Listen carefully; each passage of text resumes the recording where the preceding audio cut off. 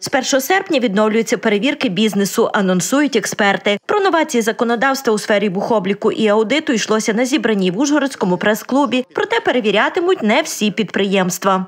Відновлюються перевірки Державною податковою службою, тому що законом ну, з вводом воєнного стану були внесені в законодавство там, де був наведений мораторій. І відновлюються з 1 серпня саме ті перевірки, на яких були наведений мораторій. Мова про гральний бізнес, про фінансову е, систему, ну, банківські установи, обмінки, валютки.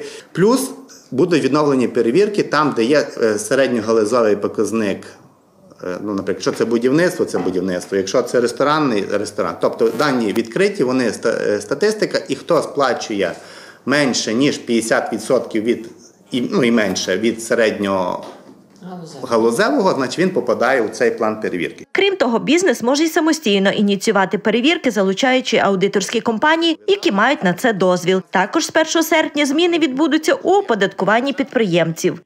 Відміняють таку спірну систему, ну така спрощена 2%, 2% від е, обороту. Вона ну, спрощена, це вже дуже спрощена е, получалася. Так? Е, Багато на початку війни було прийнято, ну скажімо так, можливо, неправильних рішень, але важко, ну точніше, легко тепер критикувати і судити, коли в нас пройшло півтора роки. А от я би там такий розумний, я би тоді так і так зробив. Да, були перекоси з, ну, на мою думку, з розмитненням автомобілів. Толерантним назвали експерти підхід держави до обліку та звітування під час війни. У кого немає можливості, ну прямо так закон і пише, е, це мається на увазі прифронтові території, це мається на увазі е, тимчасово окуповані зони. Там е, ніякої звітності, ніхто нікого не штрафує. Це, більше того, навіть на території, там, де відносно. Ну, все відносно спокійно і немає бойових дій. Значить, звітування воно не штрафується. Але тим не менше, з іншої сторони, якщо бізнес працює, якщо бізнес е, він заробляє, якщо бізнес виплачує заробітну плату, ну в такий нелегкий час, звісно, потрібно державу підтримувати, сплачувати податки. Поступово відновлюється економіка, відроджується бізнес, відповідно і сплачуються податки, наповнюючи бюджет країни, зауважують експерти. І роль бухгалтерів та аудиторів тут вагома.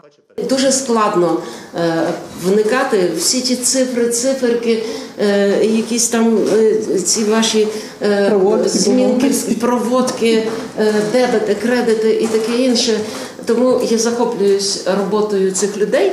А аудитори, котрі можуть дати як це спокій і впевненість бухгалтеру, це ну напевно ще, ще важливіше, ще цінніше. Користуючись нагодою з професійним святом Днем бухгалтера та аудитора, яке відзначають 16 липня, вітали усіх причетних. Ні одна організація не може існувати без бухгалтера. Як би ми не хотіли, але всі хочуть мати справжнього, високопрофесійного бухгалтера, який слідкує за змінами, який все знає, який може підсказати, який може навчити, який може оптимально зекономити податки, але сплатити їх вчасно і в повному розмірі. Тому от таким є ще є аудитор, який допомагає е, хорошому головному бухгалтеру. А кращих у професії відзначили грамотами та символічними подарунками.